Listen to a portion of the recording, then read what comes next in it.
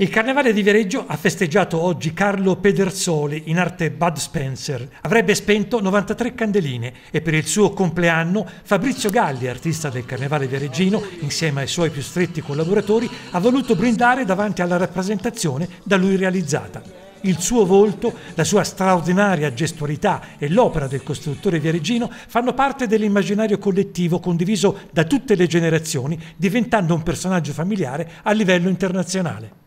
Fabrizio, perché questa iniziativa? Ma è molto semplice, oggi è il giorno, è la ricorrenza della sua nascita e visto che la statua di Bud Spencer era qui a pochi passi da, dal nostro Re Carnevale, ho sentito alla Fondazione Carnevale se lo potevo posizionare per questa giornata, dopodiché lo riporteremo nel mio hangar e sono stato autorizzato e quindi dalla cittadella del Carnevale un grande abbraccio a tutti i fans di, del grande Bud Spencer. Quanti anni avrebbe compiuto oggi? Avrebbe compiuto 93 anni e quindi niente.